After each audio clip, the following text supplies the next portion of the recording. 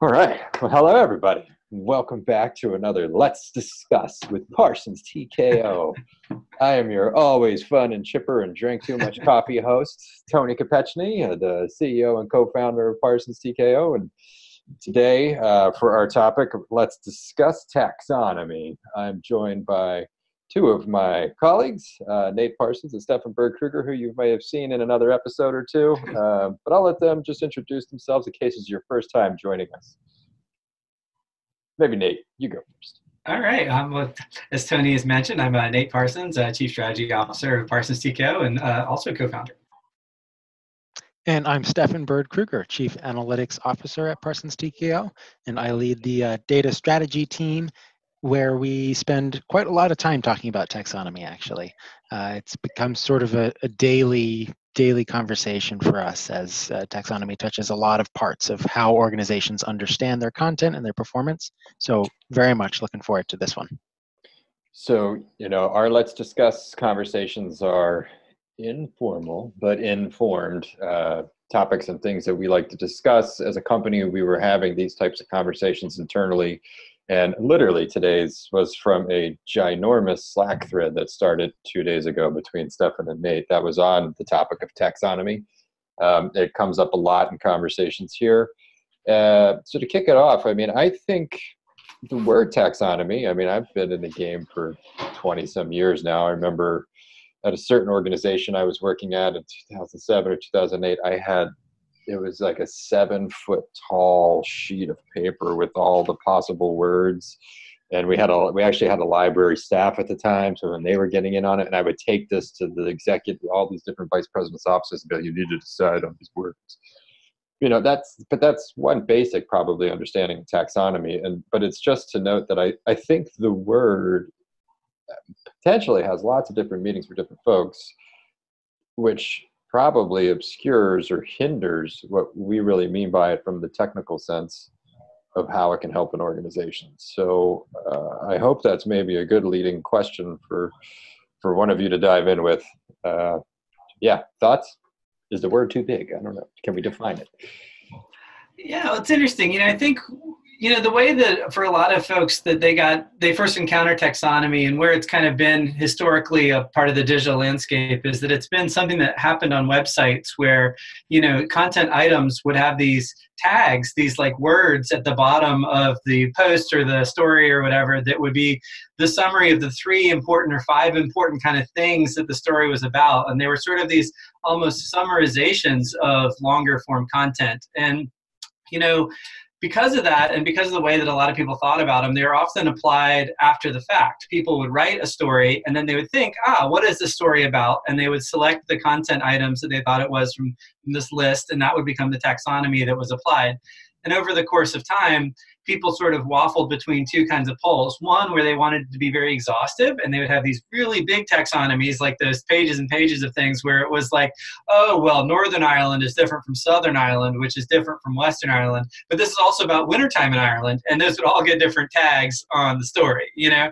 And then there was the other school of thought, which was like, no, it's going to be highly managed and you can't make up any other tags and it's just going to be this thing. So if you had a story about Ireland and you didn't have an Ireland tag, you're like, well, it's about the UK. That's close enough. Bam, I'm going to put the UK tag on this thing and then off you go, right? And like those are kind of the ways that most taxonomy got applied.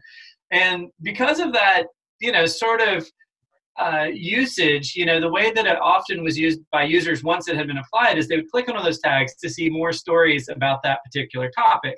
And what they would see is then a big list of content that all shared that tag, right? And so that was kind of taxonomy as a system, right? And as you can imagine, it's all pretty unintentional. It's pretty divorced from you know organizational strategy, and it doesn't have a lot to do with helping the user understand what your opinions are, right? Because they don't discover the taxonomy in full; they discover it in these little atomic pieces, right? They find one tag, and that's how they know about your taxonomy. They don't really get to see your understanding of the you know descriptive world the way your taxonomy is organized um, yeah, I mean, I'll I'll jump in there. I'm I'm getting climbing back on board. I have to say, given my Irish family members, some of the things you said about uh, uh, tagging Ireland in different ways were hard to recover from, but but but I will say that I think that's exactly right, and I think that heritage of taxonomy in the web world has been a really tough thing for people to overcome, uh, and this stems from a conversation I just had yesterday, uh, where that use of taxonomy as a way to browse your content is actually not that engaging a user experience for users. And so I think a lot of people have this heritage. This is the one way they've ever seen taxonomy used on a website. That's the most forward facing way that it's used on a website. And then people who watch the analytics say, oh, well, people don't even really use that. So why should I care?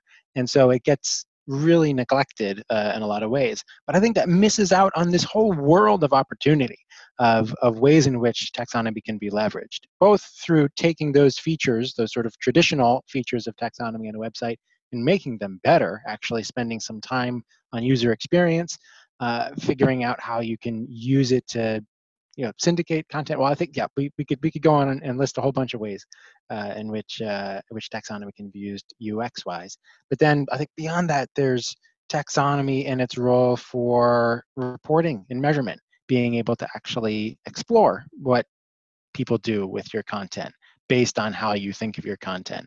There's taxonomy for you know strategic alignment. There's taxonomy for integrating your systems. And so i think there's just so many different ways to, to slice and dice your content uh, and and reach into you know the the different use cases of those taxonomies. I don't know. Nate i mean of, of all those things i mean which ones which ones i guess have you seen the most potential for organizations to do something new and revolutionary? Yeah, I think the, the, the, first one is just switching around where in the strategic process taxonomy emerges or occurs, you know, which is to say, like, you know, every organization I've ever encountered has an, a, a theory of education or a theory of change about how the world is and how it could be better and how they can influence it.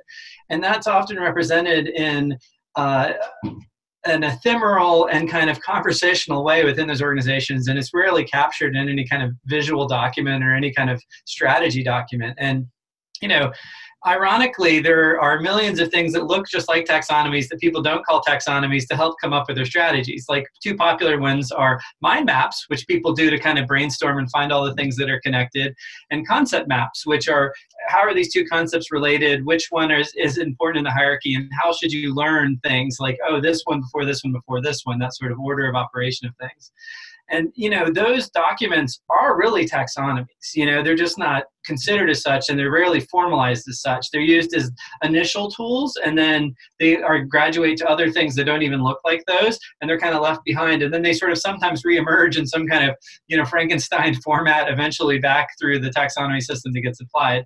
But the most revolutionary thing is just to start and continue using a visual taxonomy document, you know, and I think that that does a couple of amazing things in the organizations that do it. One, they have serious conversations about the kind of uh, content and the kind of outreach they're going to conduct because they, you know, need to be able to put content into each of the taxonomy buckets that they're creating. You know, they also create consensus around what are the the the correlations of topics like these three atomic things roll up to this bigger thing and that's important and we want to talk about the bigger thing.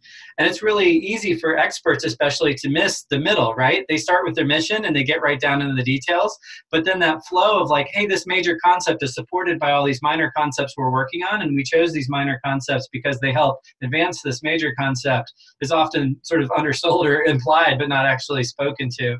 So it helps with that and you know, I think there's most, you know, sort of dramatically from a systems level, when you start and, and use that taxonomy, it doesn't just exist on the web. It exists on, you know, content records in the CRM. It exists in how email and outreach is conducted. It exists in how reports are, are quantified. It reports how funding is allocated. It reports in terms of strategy. Oh, we're going to do this this year, and you know, in two more years, we're going to stop working on this part of the tree. We're going to add this part of the tree, and it becomes a management function. So, I think you know, ironically, this the most amazing part of it is just starting with it and sticking with it. But it's it's like you know done by you know a hundredth of the organizations we run into.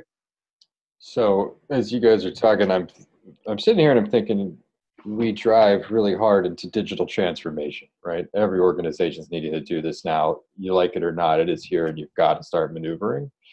And taxonomy today, in that essence, in my head, it becomes this underpinning, right? Like it actually becomes an essential element.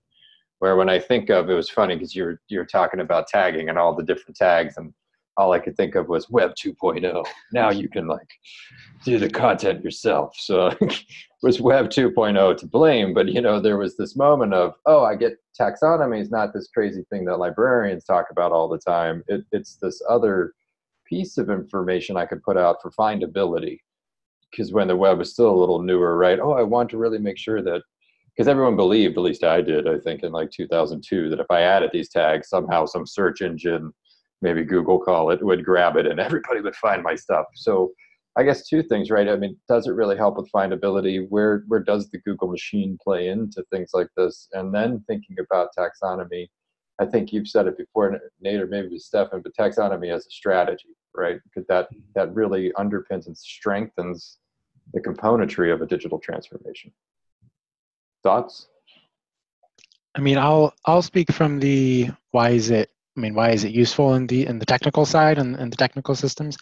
I mean, I think one of the biggest things. I mean, if you want the exciting answer, uh, it, personalization, personalization, and marketing automation, they all completely depend on consistent and comprehensive and well managed, well curated taxonomies.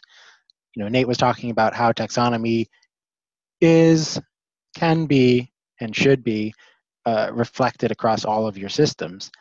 All of your systems have to play a role in creating a cohesive uh, user experience for your audiences. And unless you can figure out, here's the topics that I cover on the website, here are the topics that people are interested in, here are the topics that we're emailing people about, unless you can connect the dots between those, you can't create that cohesive experience. Every every time you talk to a person, it's from scratch, and they're just a, a new person in the way you're writing for them. And so taxonomy can be the connective tissue between all these different systems. And so I, I think you know, this is even setting SEO aside. How do you SEO is about how do you find get help people find you but once people have found you how do you build a relationship with them and and that's where taxonomy is crucially important for you to be able to learn about your audiences and their interests in a structured way that your systems can then also use uh, to make decisions about outreach. Uh, so i think i think that's you know that alone i think it makes the case for for taxonomy. Yeah, just to, to play on that a little bit, you know, one of the, the coming evolutions in technology is the movement from systems that filter content uh, dictionaries down to what you're looking for. Like Google tries to filter the whole web down into like the 10 or 20 things it thinks you might be interested in, to a systems that try and understand your intent and then try and match things that fit your intent better. And you know, everyone has sort of experienced this with either Siri or Alexa or Google Assistant or one of those systems where you're like, tell me the weather in Denver, right? And it tries to figure out that you want to know the weather report in Denver, Colorado, because you're in the United States and it's implying all these things. And it's trying to figure out your intention and then give you data that fits your intention. And, you know, taxonomies are an important stepping stone to that because if you think about it um, from just a pure content perspective, when you apply a taxonomy term to a piece of content, you're declaring an active intent. You're saying, I tried to make this content about this term you know, for better or for worse, for more accuracy or less accuracy. That's what you're declaring. And I think that there's also going to be an evolution in what is in the taxonomy as well. You know, taxonomies historically have been sort of almost uh, you know library or research library focused in the sense of like oh we'll have a regions taxonomy and it'll have all the places and we'll have you know a concepts taxonomy and we'll have all the concepts in it or something like that. But you know of course those don't really include intent right? Like are you trying to learn about this thing? Are you trying to keep up with this thing? Are you an expert in this? Are you a student in this? And I think that the next evolution in terms of how our taxonomy is going to go is going to start to pull in some of those intent factors into taxonomy because I think it is it's part of the learning, right? Like if you have a model for how somebody should learn about a concept you know you take them from first hearing about it to a journey uh, through it and then eventually you know some level of understanding or expertise in it and i think you know that's similar to how uh, you know a lot of nonprofits try and think about engaging their audiences, right? Like we want to take somebody from first hearing about the nonprofit, becoming a strong, you know, booster of the nonprofit or having a lot of affinity for for the mission, you know. And I think all of that sort of speaks to there being intention sort of latent in these like sort of systems and in these content. And you know, taxonomies I think will continue to evolve to include intent as part of the, the, the strategy captured within them. So I have several thoughts now from that. Uh, and I don't, I'll just throw them all out and then you all decide how you want to, to take them from there. I mean, on the intent piece, you know, interesting. So what if I was at my, what if my organization had a great taxonomy, but now I want to evolve it or adapt it or tweak it? Can I do that without losing all of the great connections, you know, it's definitely to your point for this data reporting I was able to do and the journeys I was able to like how do I evolve it? What what does that do? And you know, you, we also talked about mapping it between systems. But it feels, at least in my experience, it always seems to stem from a communications website perspective. And then there's always the debate with whoever the program or department is that might own some knowledge area uh, it's rarely ever, in my experience, out from the CRM experience that goes back into the other places. So uh, that's a whole bunch of like where my head went. Um, and you know how my brain goes like an amoeba. So I'll let you all attack what I threw out there, however you'd like to, if you've got thoughts on it. Yeah, I'll dive in real quick. Just that um, one of the things that, that, that we try and bring to you know our, one of the perspectives we bring to our client engagements which i do think is pretty unique to, to ptko is this concept of portfolio management.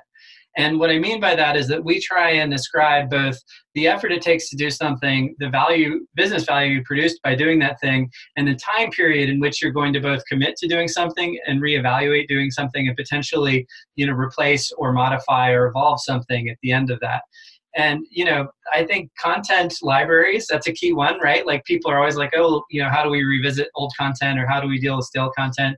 The same thing applies to taxonomies right? Like where the taxonomy exists really in a period of time. You know we kind of see it as this like permanent like obelisk that's been planted into the sand. But the reality is it's like a crop that we plant every year and sometimes we need to change the mix right? We might need you know more soybeans this year or more corn this year. And that's the same thing with like how we actually create things that are measured by the taxonomy, right? Like we may have more content in one area, we may have a new sort of strain or new evolution of things that we want to add to it. We may want to like let some things lay fallow for a little while and we may decide that something we're never going to do again. And you know i think that the key for evolution there is, is just that it's planned and intentional. You know i think that what really happens in a lot of organizations is that they say we want to start doing x and so y stops because there's not enough time or ability to do it not because there's an intentional plan to sunset it. And i think that's where most of the business value is lost and much of the user dissatisfaction occurs you know? Instead of saying hey we know you're trying to do x and we're focused on y now and here's where you can still find what we did on x and it's still relevant but it's sunset a lot of organizations kind of play the shell game of like, oh, where are we creating content? We won't tell you and you won't know. You'll just have to discover it, you know, and you won't find the places that are stale and we're not covering because we're not going to tell you that either. And I think that's a real trouble, right? Like it makes them it makes them feel like they're covering more ground, but really what they're doing is obscuring their best and newest work. And I think that's part of the the evolution piece, right? Like it needs to be intentional and not just a matter of capacity. And uh, Tony, I want to go back to your question and build on Nate's word intentionality. And I think that question of why people think of taxonomy in the web world and usually only in the website world and where that disconnect to all the other systems comes from. I think a lot of it just has to do with the, the history of websites and content management systems. I mean, you think about Drupal, you know, you know 10 years plus ago taxonomy was one of the core native features. When you're building a new drupal site it's right there. What's your taxonomy? And so i think structurally it was forced on people a, a, little bit in, in the web world for for good. And i think that was a, a, you know one of the positive aspects of those early approaches to content management system building. But you don't have that and it's not as obvious a piece in a lot of other systems. When you think about how crms are designed when you think about how social publishing platforms are designed when you think about email marketing systems i mean you know when it comes down to it taxonomy the difference between taxonomy and and metadata and tags it's all semantic you know they're they're all similar concepts. It's all information about the thing that you have um, whether the thing you have is a, a, piece of content on your website a person in your crm a message that's going outbound um, it, it's all metadata. And i think one of the one of the key things that differentiates taxonomy as you know capital T taxonomy is that intentionality. It is planned metadata. It's metadata with a strategy, metadata with a purpose, and metadata that you use to organize your thinking. You know the way you structure um, everything that you do with your audiences. And so I, I, think that piece is really important. And and I do think there is uh, you know to that you know how do you move forward with it? Having that intentionality where you say this is how i'm going to manage my content and and all the different dimensions whether it's topic whether it's category region audience intent call to action all of these things could be a taxonomy. Um, it's just a question of how you want to represent your content strategy and your audience engagement strategy in the systems that execute those things. Um, and and having that parity is is really crucial so, you know, I would say to go from where you started there, right, where people seem surprised that it should be in these other systems. I'll say I'm surprised that in our data strategy practice, how often it kept coming up from you. Because I wouldn't have thought about that, right? In my experience being in communications or marketing and coming, I, oh, sure, why do I need this taxonomy to go to my data strategy and my reporting? So I don't, yeah what do you want to say about that? Because that that was newish to me uh, but i'm yeah. fully supportive of you. I'd like the rest of the world to know why why you talk about it though and, and where it it creates limits for the work that you do. Yeah absolutely. And i mean we've i think we have a whole other um, episode about this and i'm sure we will have many more. Um, but in short when people ask questions of their data it is to inform their strategy and so the kinds of questions they ask are how does our content about this topic perform? Or how does our content by this department perform? Or how does our content designed to get people to sign up for the annual gala perform? All of these things are context about your content, about your organization. And in order for analytics to report on that, analytics needs to be informed about that. And, and fitting your taxonomy into your analytics is what makes that possible. Because Google Analytics, when you set it up, it, it, knows nothing about the website that it's running on. It knows nothing about your organization. And so until you teach Google Analytics, this is this this is what the topic is on any particular page. Unless you give it that context, it can't report out. Certainly not cleanly, not without hours and hours of tedious lining up rows and doing it in ways that you're certainly going to do differently next time.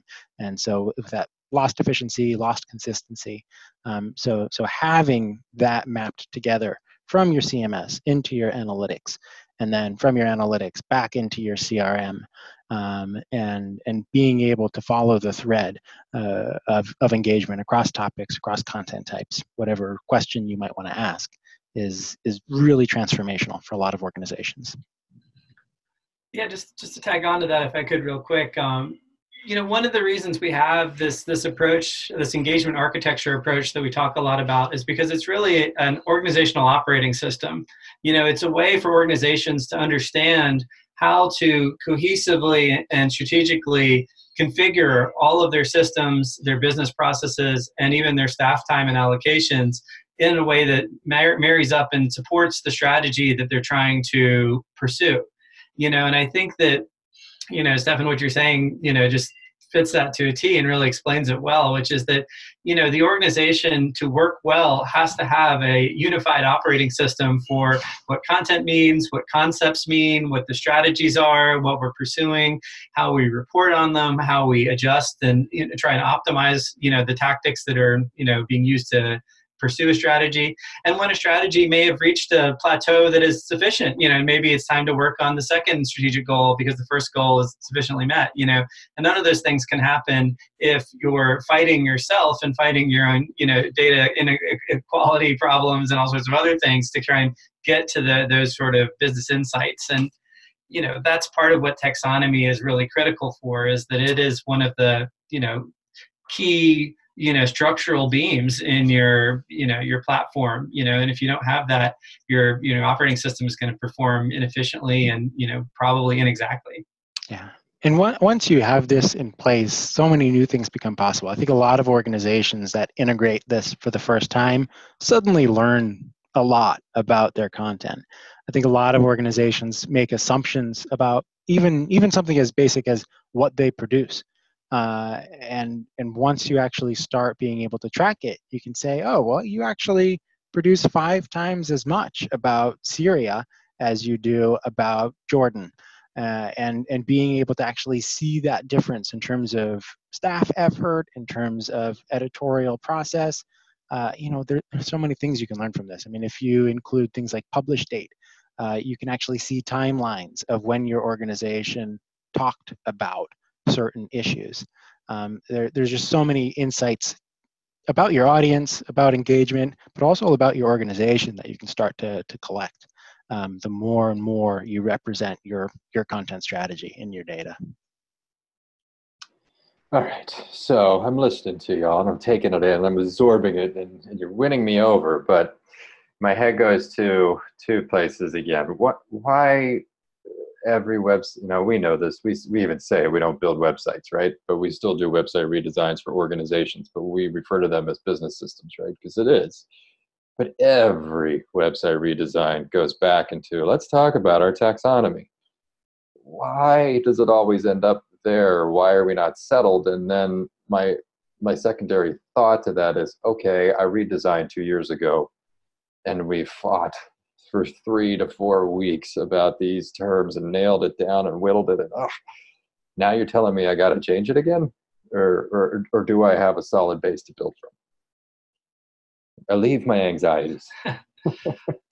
Well, I think uh, if taxonomy is something an organization focuses on and has a lot of sunlight on, then those website redesigns can usually leverage it and use that as a jumping off point to make good decisions about how to improve the website. You know, and I think in the very best cases, the website's deficiencies or the, the reason you're you're improving or changing the website are based off the taxonomy. Like the taxonomy is trying to do X and the website is preventing it from achieving that goal you know but the reality is for a lot of organizations you know the, the, the, organizations that don't have much sunlight on their taxonomy or don't treat it as a strategic planning tool is that those redesigns become a way to suddenly rethink how outreach is occurring and to rethink what organizational priorities are about communications and, and concept mapping and concept you know communication to the outside world.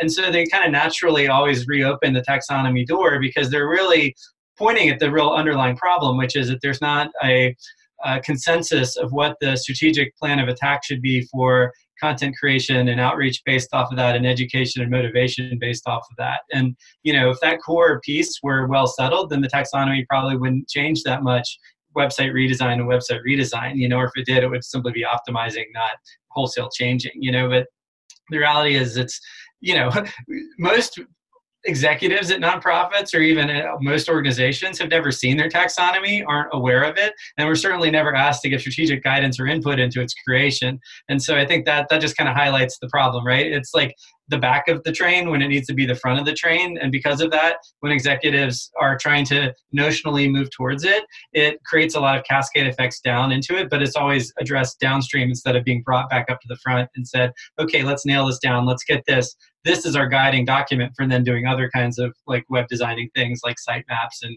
content types and structures and all that. I think I think what I would say first to your question, Tony, is that if you have put work into your taxonomy, I am not telling you that you need to change your taxonomy. Uh, the first thing you need to do is to integrate your taxonomy into more of your systems. I humbly would suggest analytics first. Uh, and I think with analytics integrated with your taxonomy, you are going to learn a lot about it. And you are going to learn a lot about how your organization uses it. And you're going to learn a lot about how your audiences respond to different parts of your taxonomy. Once you have learned those things, um, I think you may want to change your taxonomy because you're just going to start to see these are the answers. Um, these are the things that are working well. These are the things that aren't getting any sunlight, that aren't delivering any value. And I think that's going to drive changes to the organization organically without needing to have a summit, without needing to do a weeks long process. I think just day to day in meetings that your staff have with one another about how to plan the website. I think you could start to see that evolution. And then I think it truly is evolutionary and not something fast and hard and painful. So I think I think that's really got to be the first step for a lot of organizations. And if you allow for that kind of data informed growth that's made possible by integrating your taxonomy into your analytics, then I think you can actually put off a lot of the hard changes that that you know you're talking about. I think you know to Nate's point, if uh, if you have your taxonomy up to date and you're managing it well and you're using what you learn about it to improve the way it's represented on your website, you're probably pushing off your next website redesign. And, and I think you can actually get more from what you have uh, for a longer term. And just to tie on that one last thing that did make me think of something else, which is that, uh, you know, one of the things that the taxonomy can do from both the data perspective and a content strategy perspective is help you understand if you are inadvertently as an organization creating you know too much content in one area and too little in another. And most importantly on that what the cadence of that creation is. You know there are certain sorts of content that are kind of like gateway content to your your you know deeper materials. And those ones are often the things that that you need to make sure are happening on a regular basis and the content pool in that is increasing in the right amount you know like uh, it's really common for say think tanks to write a lot of expert content but not a lot of on-ramping content and maybe not enough you know uh, summarization content for policymakers right? And like that's a simple place where like having a taxonomy in place that is reported on well from data might really change your internal focus about just content creation and you know that might have far more well it's, it's very likely to have better impacts than redesigning the website you know?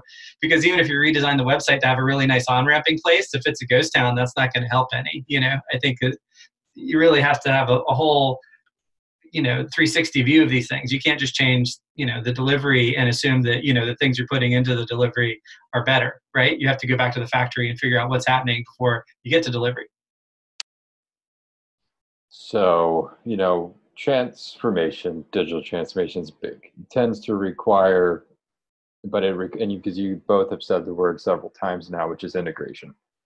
But the integrator within an organization that you know, even if you're still siloed, work still has to start cutting horizontally to really be what you need to be as an organization now with the tools that are out there. Where where should ownership of taxonomy live? who should be in charge of that? Like, where does it start? Who owns it? Are there tools to manage it? How would I manage it? What do I do? Help me. Help me, everyone.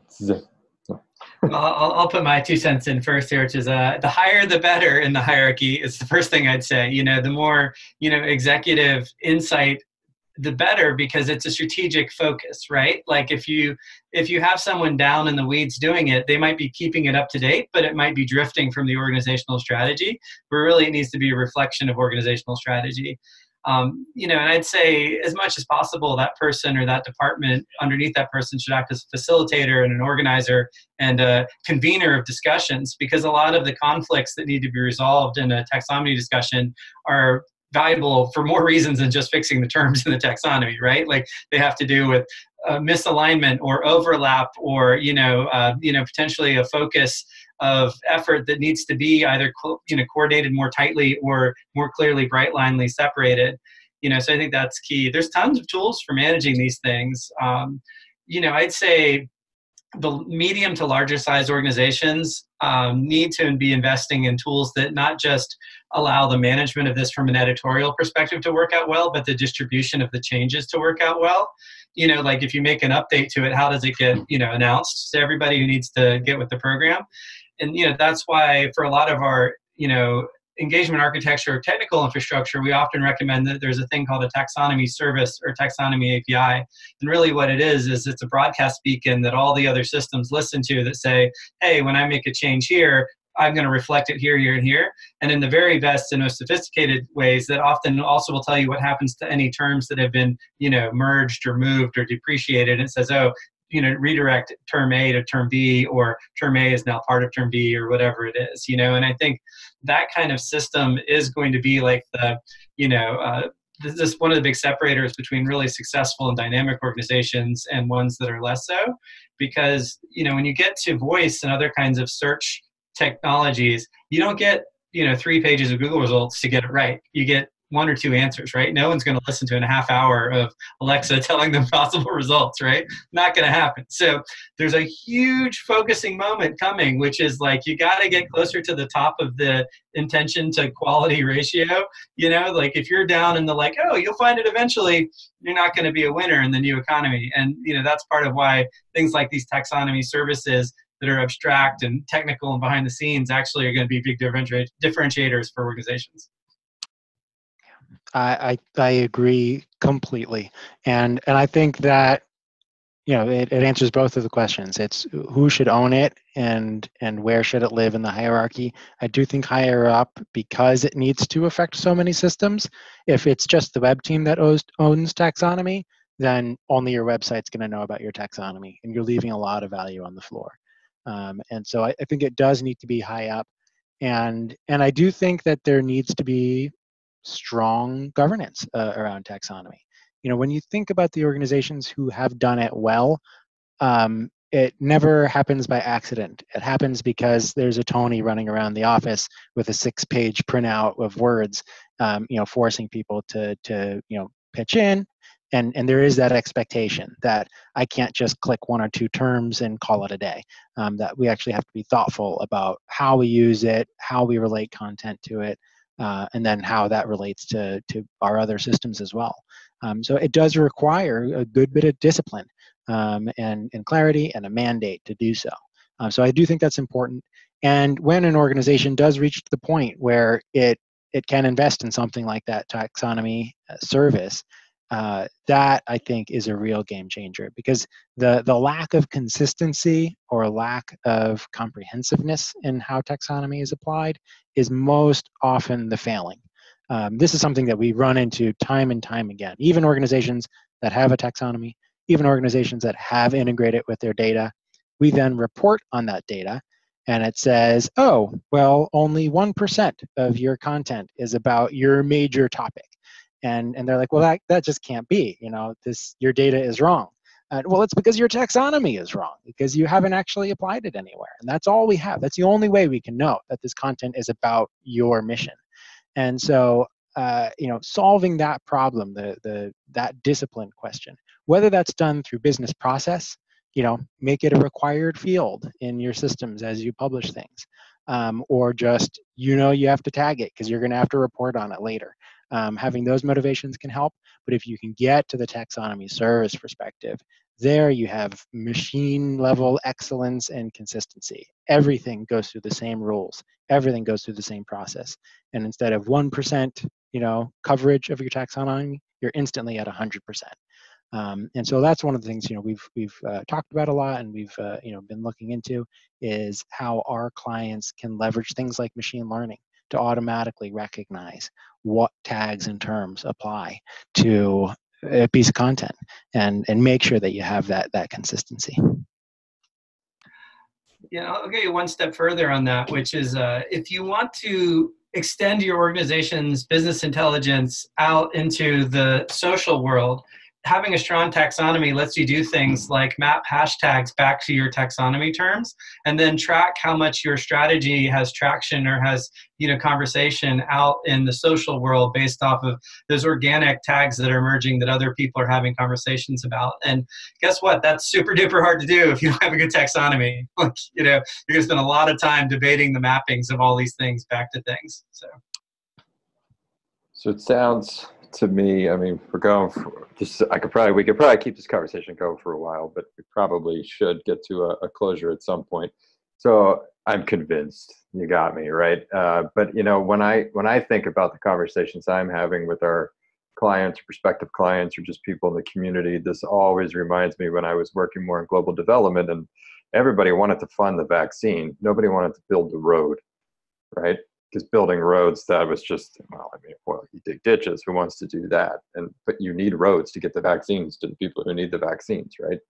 Taxonomy feels that way to me a lot, and I, I think what I'm hearing here too is there's going to be winners and losers, and it's this is all going to happen so much faster than I think everybody's ready for. You know, as a conversation was in yesterday, um, the executive kept talking about AI in the next five years. I was like, I think you need to shrink that down to three, and that might even be not enough, right? It might even be less than that. So it, it sounds like this is the type of thing I, we got to dive in. So, what's the starting point? What what do I do today? I'm organization X. You just came in. Now you've you've got me. I, I believe it. I am nervous. I don't want to be one of the losers. Uh, I don't want to get left behind. Do I do? Well, I think the first thing, you know, in terms is to narrow the question a little bit, even for those organizations, right? Like, what are the things, the, the three things that you want to really help people understand or know or get educated on.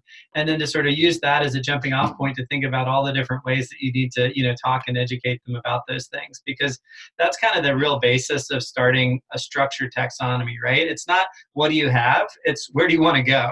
And i think that's the key thing that a lot of organizations need to start with is they need to start seeing this as a way to document where they want to go and where they want to be successful and a lot less like what do i already have and you know, if you see it as a, a way to inventory the junk in your storage that you're renting, then you're never going to get anywhere, right? Like this needs to be a blueprint for the engine you're building.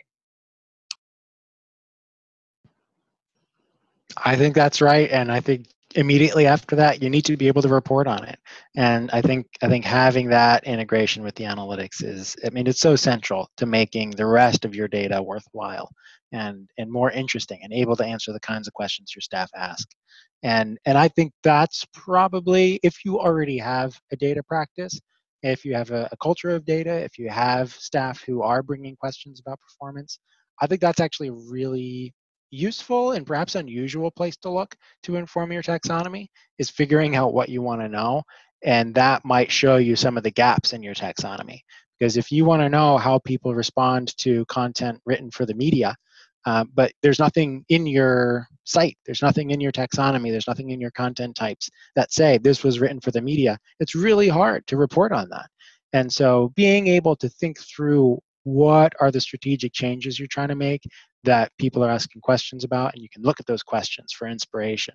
Uh, that might paint the paint the path or whatever you paint, uh, paint a picture uh, for uh, for what your future state taxonomy ought to look like. You know, I'm wondering for any of our viewers and an audience that might be made it this far in with us and they're, and they're thinking through this. I mean, how do you do you have thoughts on how to create the, the groundswell or the champions internally to start talking about this? Like, please stop talking about the next system. How is that system going to connect to this? Is there a way to find those champions internally?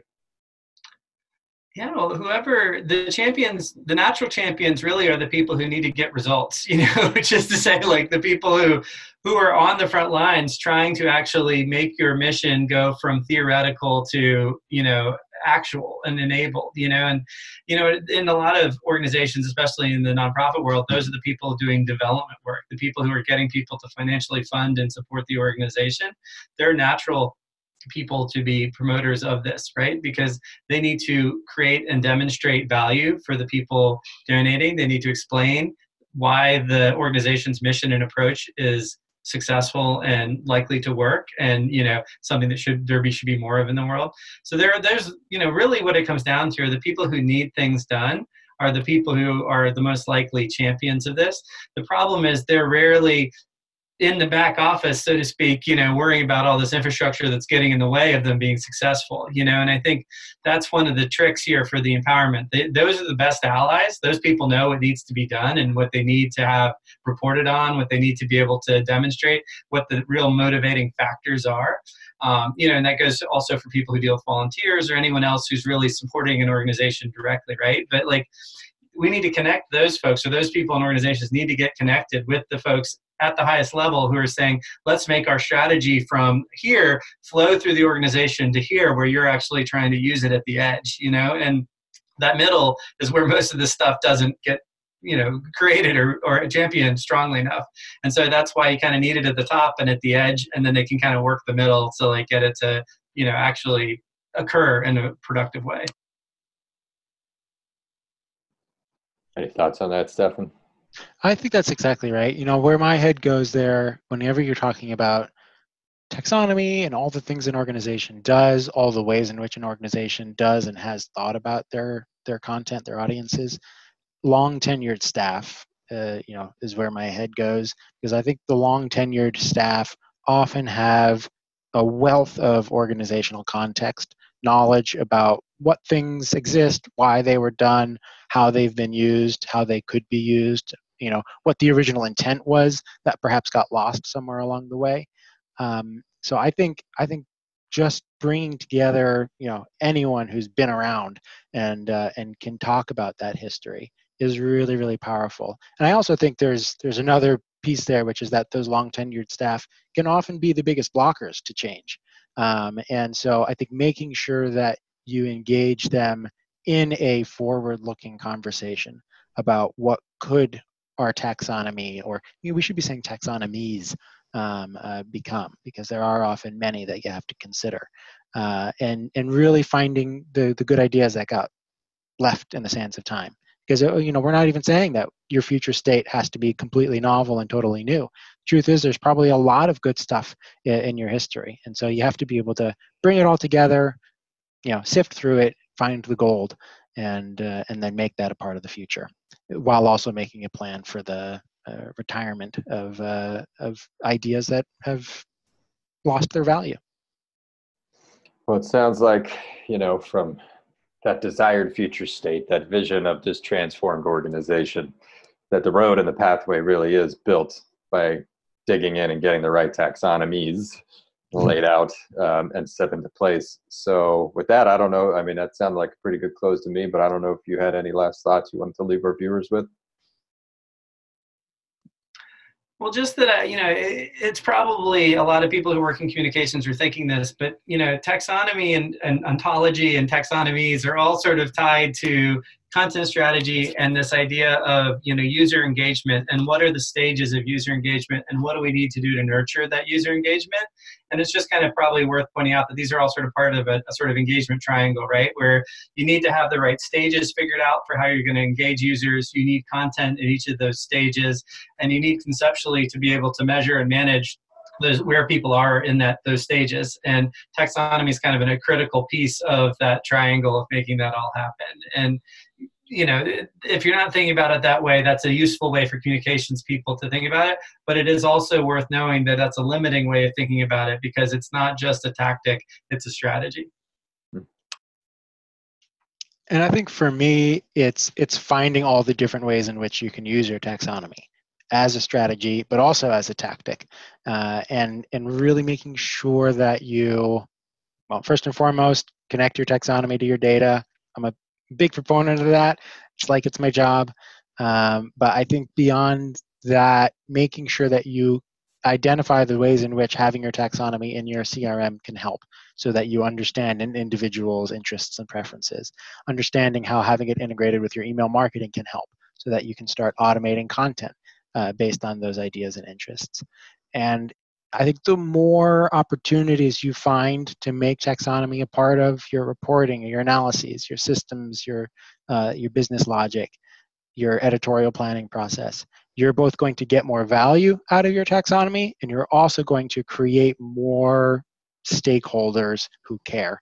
And having more people who care about your taxonomy is going to improve how well it's managed and it's going to improve that consistency, get you from 1% coverage to maybe 10 or 50 or 70 uh, while you're on your way to automation and you know artificial intelligence and all that. I think there's a, a lot you can do by making sure you involve the whole organization in your taxonomy, both on the consumption side, but then also on the production side. So I think there's uh, yeah a lot of a lot of opportunities to grow.